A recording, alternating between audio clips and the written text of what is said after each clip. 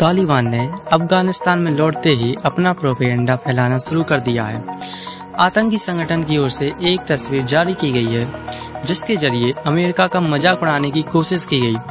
आपको बता दें कि अमेरिका ने ईवो जीमा द्वीप पर झंडा फहराने वाले अमेरिका के सैनिकों की ऐतिहासिक तस्वीर। ईवो जीमा फ्लैग राइजिंग को तालिबान ने कॉपी किया, जिसमें तालिबानी लड़ाके अमेरिकी सैनिकों की वर्दी, जैसे आपको पता तो होगा ही कि वो अमेरिका के बाकी साहब अपने हथियार छोड़ गए थे तो बस पहन के आ गए वो।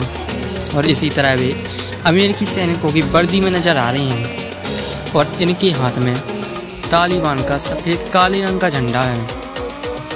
अमेरिकी सैनिकों की यह ओरिजिनल तस्वीर दूसरे विश्व युद्ध के समय वर्ल्ड वॉर, द्वितीय, सेकंड के समय 1945 1945 में ली गई थी, जिसमें अमेरिकी सेना के छह मरीन के एक समूह ने जापान के सुरीबाची पर्वत पर अमेरिका का झंडा फहराया था।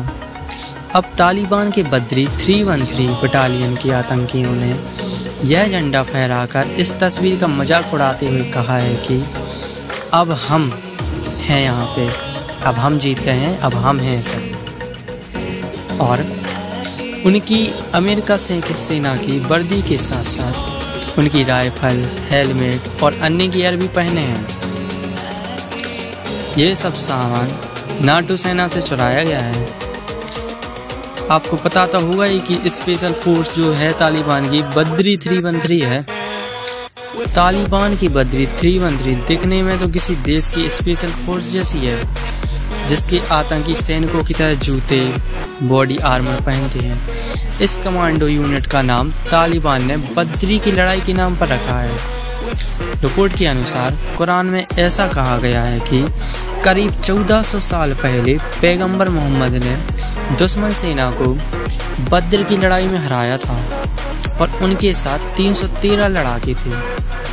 वहीं सोशल मीडिया पर अमेरिकी लोगों का कहना है कि अमेरिका अफ़गानिस्तान से भागते हुए जो सामान छोड़ गया था, उसका इस्तेमाल अब तालिबानी कर रहे हैं। बीते हफ़्ते, कुछ पहले हफ़्ते में, कुछ ही हफ़्ते में, अफ़गानिस्तान पर तालिबान ने कब्जा कर लिया है।